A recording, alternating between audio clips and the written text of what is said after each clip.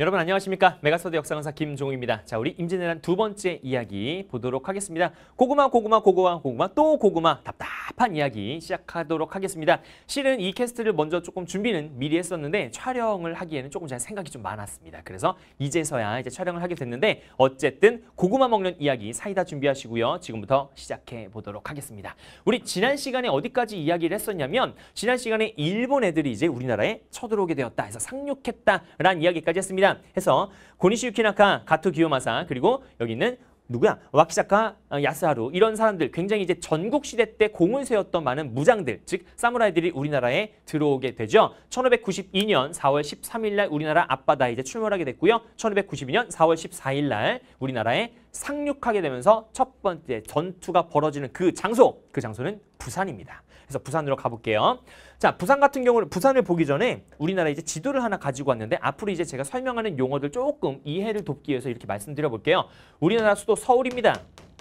그 당시 한양이라고 하죠. 왕이 있는 곳입니다. 근데 지금 우리가 화면을 볼 때는 왼쪽이 이쪽이고 오른쪽이 이쪽이잖아. 근데 왕이 봤을 때는 왼쪽이 이쪽이고 오른쪽이 이쪽입니다. 그렇죠? 그렇기 때문에 그 당시에 군사제도 개편, 어떤 편제를 할 때 왕이 바라보는 명칭을 그대로 씁니다. 해서 임진왜란과 관련돼서 우리가 나오는 명칭들을 살펴보면은 경상도 중심으로 이제 전투가 처음에 벌어지니까 경상도 좌병사, 즉 육군을 책임지는 육군 장군이라고 보시면 됩니다. 경상도 좌병사에 있었던 이각 좌병사입니다. 다음 경상도 육군을 책임지는 우병사, 우측을 책임지는 거죠. 왕이 볼 때 우측 여기가 김성일. 어? 김성일? 우리가 전전에 봤었던 관동별곡 이야기 혹시 기억하십니까? 관동별곡 이야기할 때 임진왜란 일어나기 전에 우리가 사절단으로 갔던 동인 출신 김성일 전쟁이 절대 나지 않습니다. 라고 이야기했던 김성일이 여기에 있습니다. 다음 경상도 좌수사입니다. 즉 해군, 수군을 담당하는 좌수사 이쪽이죠. 좌수사의 박홍 그리고 경상도 우수영, 즉 우수사의 원균이 있습니다. 참고로 이제 전라도 우수, 그 전라도 좌수사죠. 전라도 좌수사에 이순신이 있었고요. 경상도, 아니 전라도 우수사에 이제 이혁기가 있었다. 이런 상황 속에서 이제 일본 애들이 이렇게 쳐들어왔다라고 하는 이야기를 한 번쯤 보시면 좋을 것 같습니다. 일본의 원래 계획은 나중에 또 말씀드리겠지만 쭉 올라가서 왕을 사로잡는 거였습니다. 그렇죠? 왕을 사로잡게 되면 전쟁은 끝난다라고 생각한 거지. 왜냐면 전국시대 당시에 일본 애들은 그런 식으로 전투를 해왔기 때문에 그랬던 겁니다. 자, 그럼 부산에 대해서 조금 더 살펴볼까요? 첫 번째 전투가 일어났던 부산입니다. 자, 부산인데 이게 부산 사는 친구들은 지도를 잘 알겠지만 부산을 잘 보시면은 여기 이제 어, KTX 부산역이 있는 그 근처죠. 이게 부산진이라고 하는 여기가 부산성이 있던 곳이었고요. 그리고 동네 부산성보다 규모가 훨씬 더 컸던 동래성이 있던 곳입니다. 그리고 나서 우리가 잘 모르는 다대포 지역에서도 전투가 있었으니 요 세 가지 전투에 대해서 하나씩 살펴보도록 할게요. 일본 애들이 이렇게 올라오고 있던 즉 출몰했던 우리나라의 앞바다의 모습을 보던 그 당시에 여기가 영도입니다. 절영도, 절영도에 어, 사냥을 하고 있었던 정발 장군 부산 참사 정발 장군입니다. 사냥을 하고 있던 정발 장군이 처음에 일본 배를 본 거예요. 근데 몇 척 안 돼. 뭐지? 뭐야? 세곡선인 줄 알았어요. 즉 무역을 하기 위한 그런 무역 배인 줄 알았는데 그 뒤에 펼쳐져 있는 배가 진짜 수백 척이 오는 겁니다. 새까맣게 오는 거예요. 깜짝 놀랐죠. 정발 장군이 부랴부랴 사냥을 마무리하고 바로 이제 부산성으로 들어와서 그 주변에 있었던 백성들 싹 다 데리고 부산성 안으로 들어갑니다. 부산성이에요.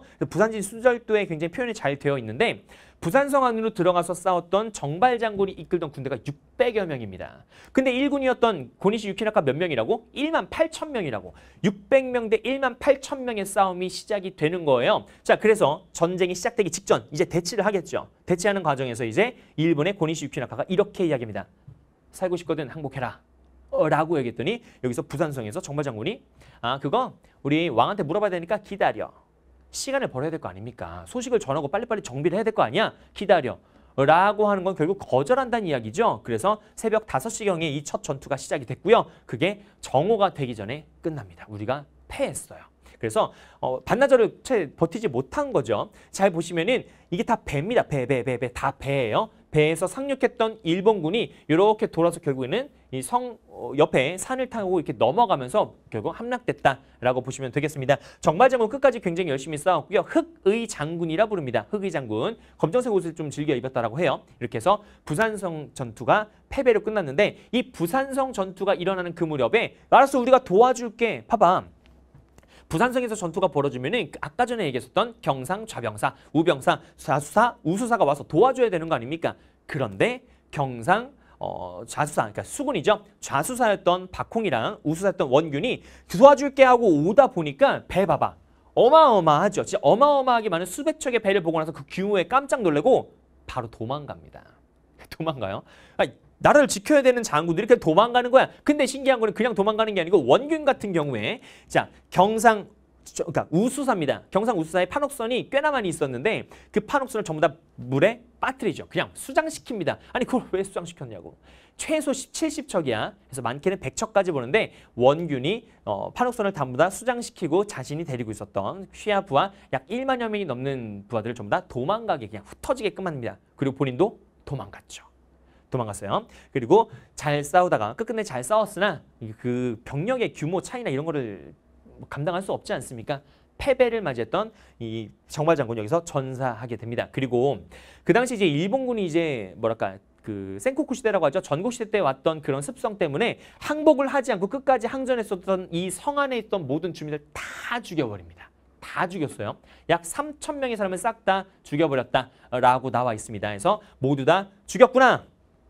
라는 거 보시면 되고요. 다음 그러고 나서 이제 일본인들이 조금 더 큰 성이었던 동래성으로 진격합니다. 자 고니시 유키나카의 군대가 거의 큰 피해 없이 이제 진격을 했죠. 그 당시에 이제 요 동래부 동래성을 지키고 있었던 사람이 이제 동래부사 송상현 장군입니다.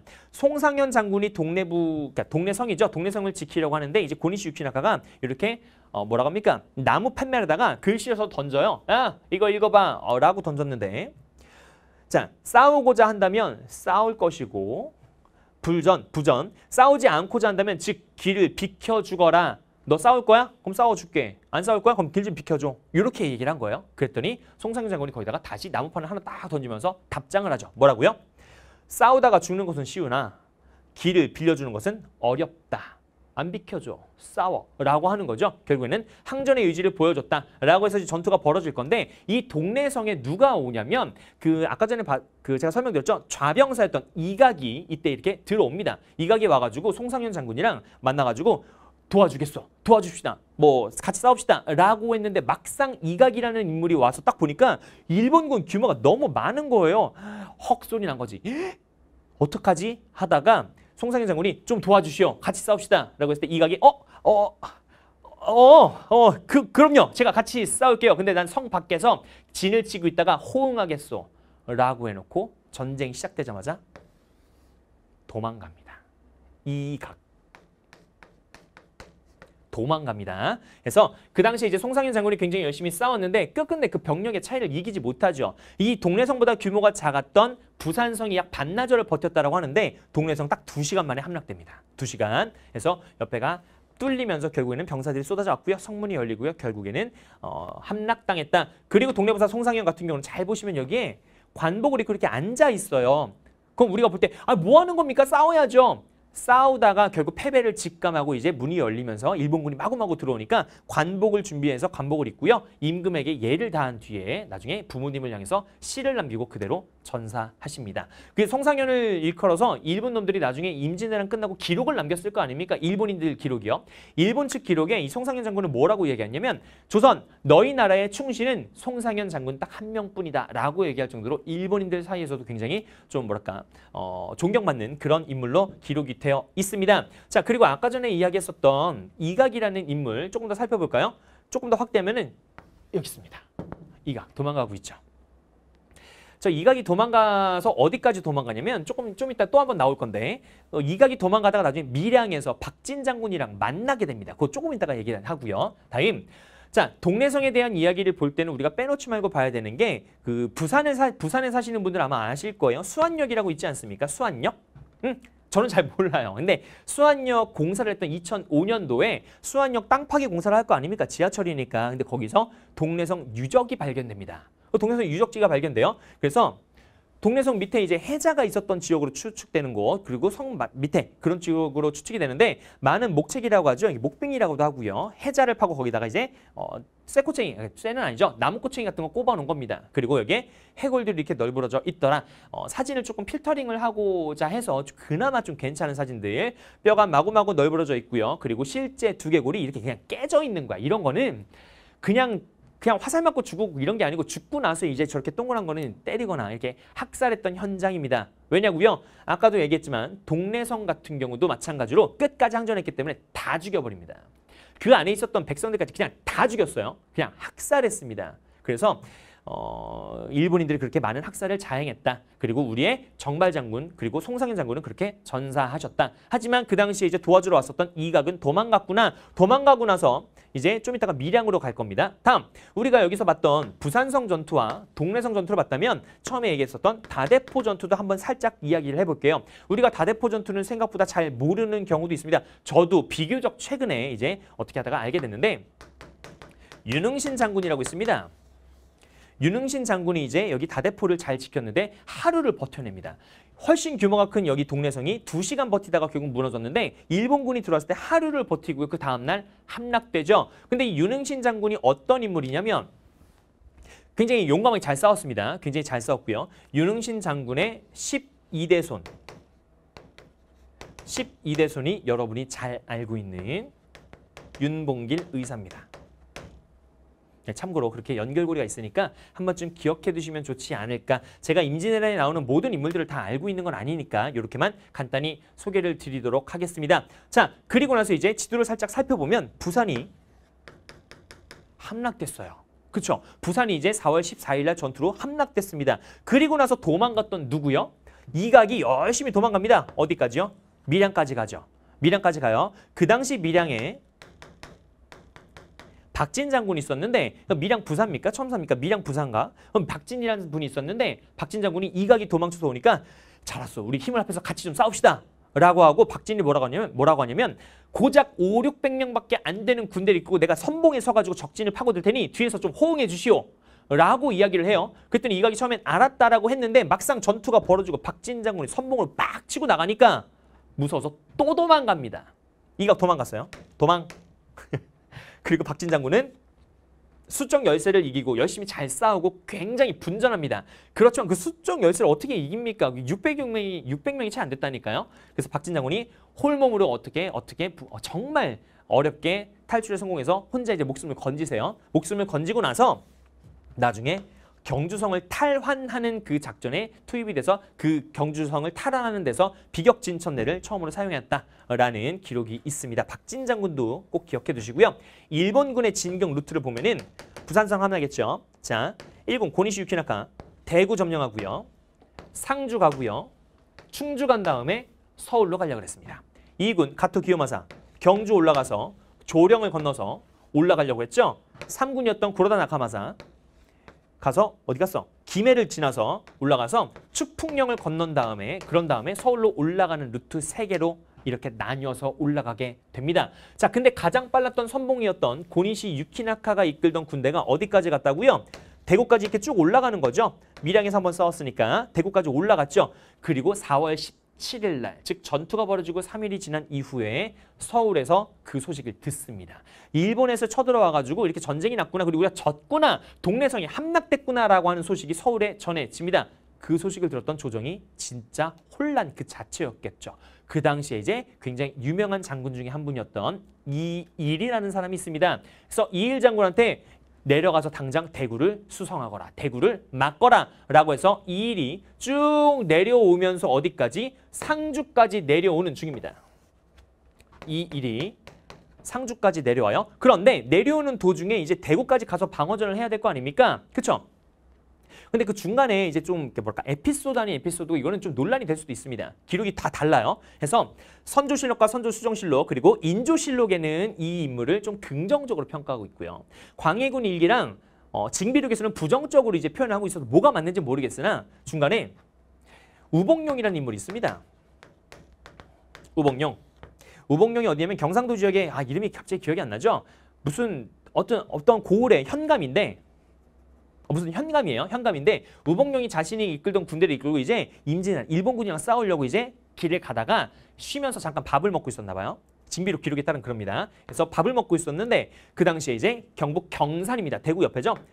위에 있니 옆에 있니 경산에서 이제 의병군들이 모여가지고 그 의군들이 쭉 내려가고 있었나 봐.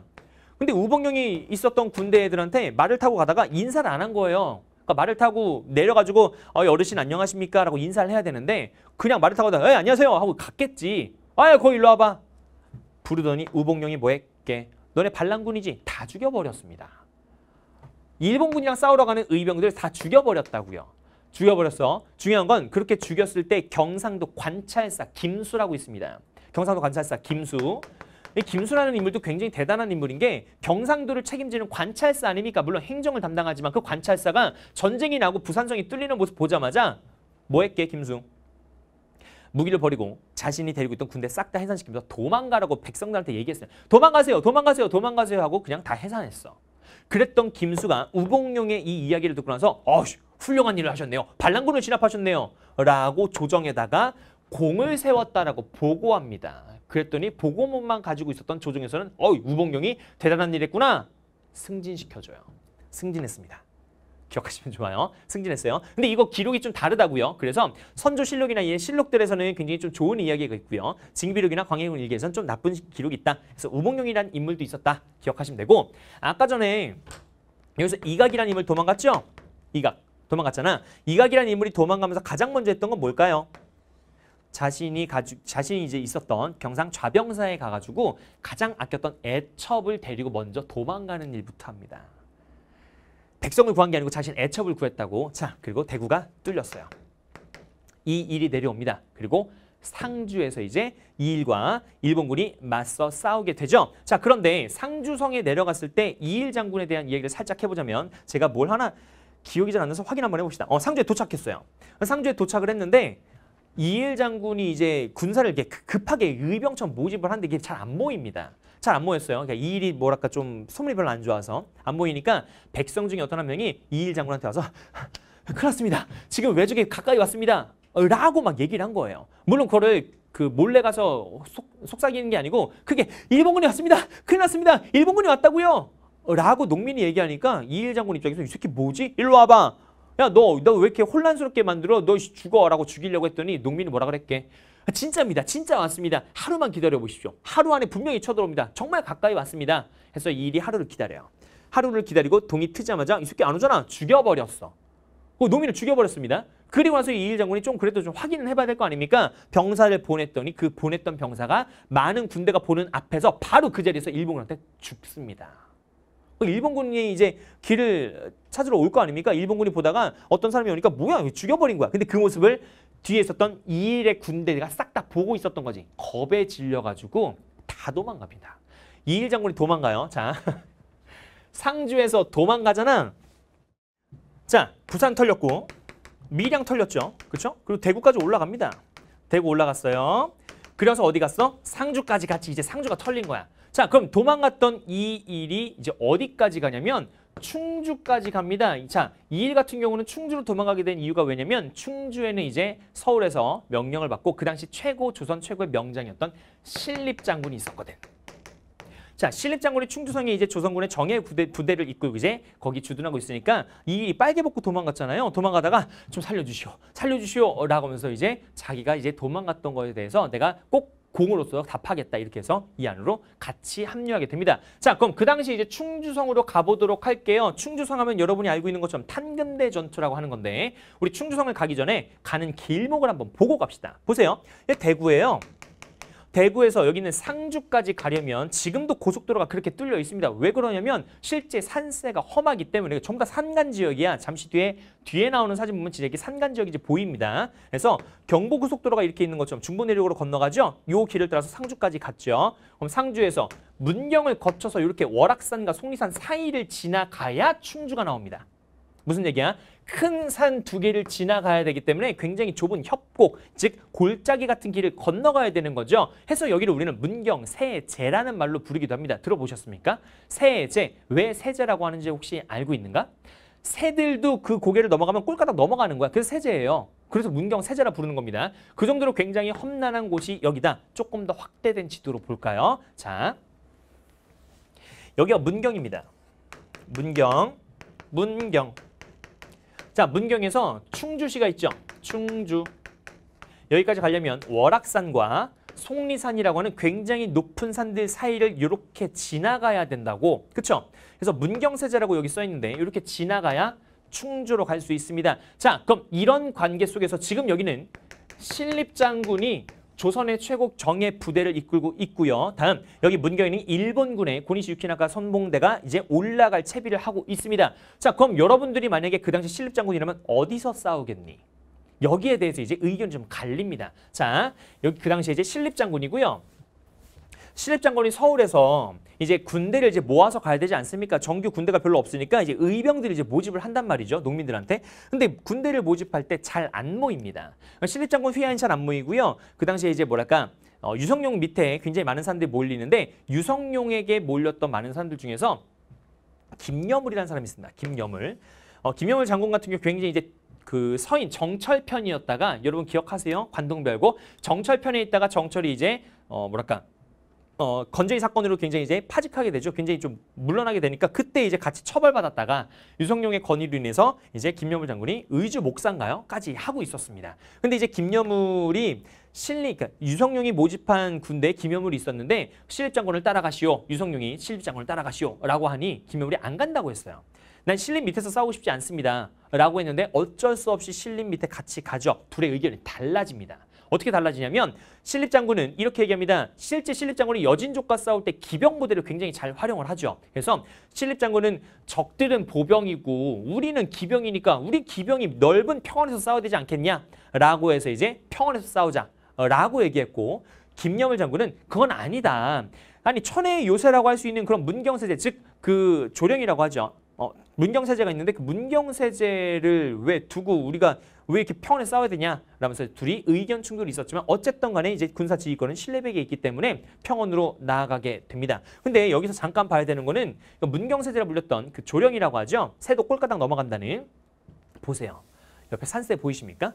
요 문을 통과해야 돼. 여길 통과해야 된다고. 그럼 양쪽에서 이렇게 공, 너무 좋은 곳이죠. 말 그대로 진짜 월악산, 속리산 사이에서 공격하기 너무 좋은 곳이다. 멀리서 봐도 산세로 둘러싸여 있고 이 가운데 있는 길을 지나가야만 충주를 건너갈 수 있는 그런 루트를 버리고 어디로 들어갔다? 충주로 들어갑니다. 자, 그래서 여기 이제 이렇게 건너왔겠죠? 건너와서 충주 뭐 밑에인가 이렇게인가 이렇게인가 건너옵니다. 건너와서 여기가 충주시인데 충주시를 잘 보시면은 여기 탄금대교라고 나와 있죠. 여기가 탄금대입니다. 지금은 도시가 이렇게 되어 있지만 여기가 이제 평원이고 이게 잘 보시면 논이에요. 논. 예, 뻘밭입니다. 강가니까 뻘밭이에요. 근데 탄금대에서 이제 주둔하고 있었던 조선군과 이렇게 들어왔었던 일본군이 서로 이제 배수해진을 치는 거지 뒤에다가 물을 놓고 여기도 뒤에다가 물을 놓고 서로 물러나지 않겠다. 그런데 여기서 신립장군이 착각했던 점이 있습니다. 일본군은 예전에 우리가 첫 번째 얘기했지만 나가시노 전투에서 조총 부대로 기마 부대를 쓰러뜨렸던 경험이 있는 부대입니다. 그렇죠? 조총 부대를 가지고 기마병을 어떻게 상대해야 되는지를 알고 있는 부대인 거야. 근데 그 당시에 탄금대를 탄금대 전투에서 신립장군이 이끌던 최정의 기마 부대가 이제 이제 작, 어 뭐지 전쟁이 시작이 됩니다. 전투가 시작이 돼요. 4월 26일 날 있었던 탄근대 전투가 시작이 되자 기마 부대가 마구마구 속도 올려서 쳐들어가겠죠. 근데 여기 뻘밭이야. 뻘밭이면 말들이 달리기가 쉽지 않을 거 아닙니까? 속도도 굉장히 저하되고요. 굉장히 질퍽질퍽 되고 있는 상황 속에서 일본의 조총부대가 3열 정도에서 빵 쏘고 뒤로 물러나고 빵 쏘고 뒤로 물러나고 결국에는 전멸합니다. 탄금대 전투에서 우리나라의 최고의 장군이라고 했던 신립장군 역시 마찬가지로 끝까지 항전하다가 안 되겠다 싶으니까 여기서 강물에 투신하면서 떨어져 이제 죽죠. 그렇게 해서 이제 결국엔 우리나라 최후의 방어선이라고 얘기했었던 탄근대 전투에서 신립장군이 무너지게 되더라. 근데 여기서 우리가 기억해야 되는 건 김여물입니다. 글씨가 잘 보이는지 모르겠지만 김여물 장군 같은 경우는 일본 측 기록이었던 회본 태합기라고 하는 기록이 있어요. 거기 아까 전에 보여줬던 사파 그림은 거기에 이제 나와 있는 그림인데 거기 뭐라고 써 있냐면 김여물 장군이 얼마나 힘이 세고 싸움을 잘했는지 혼자 말을 타고 적진 깊숙이까지 혼자 홀몸으로 가서 여덟 아홉 명이랑 막 전투를 벌여서 막 다 죽여버리고 막 그랬대요. 그러면서 큰 소리로 내가 김여물이다 라면서 막 이렇게 막 적진을 휘짓고 다닌 거지.